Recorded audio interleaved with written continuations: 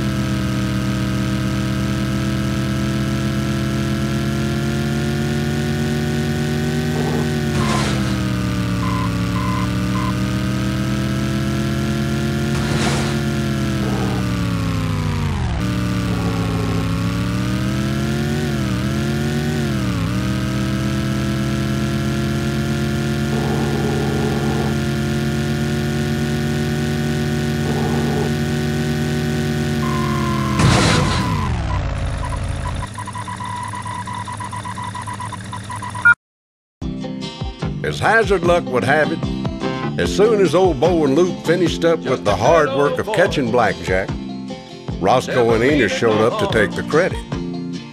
But at least things turned out all right. Blackjack got a free ride back to jail. Boss got his money, a big chunk of which he had to turn over to the Duke boys for winning the overland race. The Duke boys, of course, gave it right back to pay off the mortgage on Uncle Jesse's farm. Boss would, of course, cry a little when he figured out how much interest he had lost on that mortgage. But the good thing was Uncle Jesse had his farm. As for Bo and Luke, they just keep on doing what they do best. Folks, despite all the excitement, don't a happy ending just kind of leave a lump in your throat?